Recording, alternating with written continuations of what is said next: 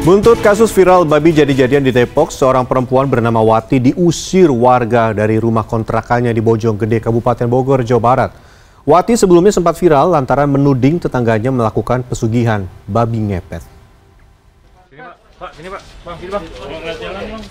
Polres Metro Depok, Jawa Barat menetapkan AI sebagai tersangka karena diduga menyebarkan berita bohong atau hoax soal babi jadi-jadian atau babi ngepet di Sawangan, Depok.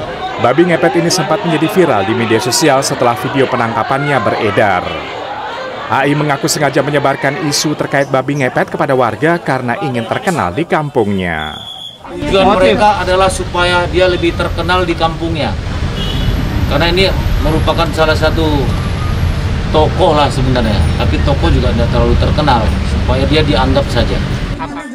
Pasca polisi mengungkap kasus ini hanyalah rekayasa semata, hal ini juga berimbas pada nasib Wati.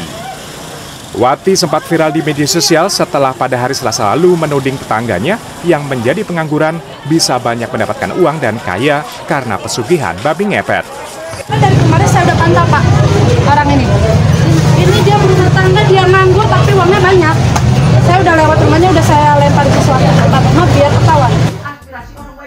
Sehari berselang, Wati akhirnya melayangkan permintaan maaf setelah digeruduk warga akibat tudingannya ini. Perempuan yang berprofesi sebagai paranormal ini mengaku salah dalam ucapannya.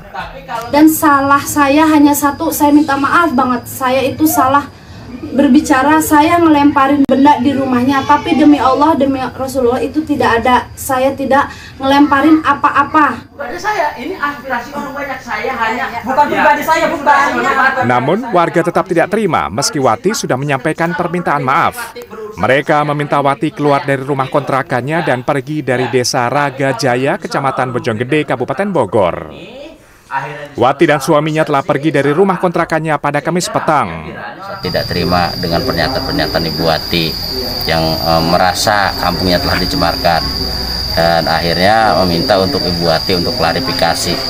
Cuma setelah Ibu Wati klarifikasi baik secara langsung maupun beberapa media yang memediasikan untuk klarifikasi itu, warga Kampung Baru merasa kurang puas karena ekspresi daripada klarifikasinya ini punya kesan kayak orang nggak berdosa lah. Keduanya diketahui telah dua tahun mengontrak di desa Raga Jaya. Warga mengaku kesal karena Wati dianggap telah merusak nama baik kampung karena menyebarkan berita bohong. Tim Liputan CNN Indonesia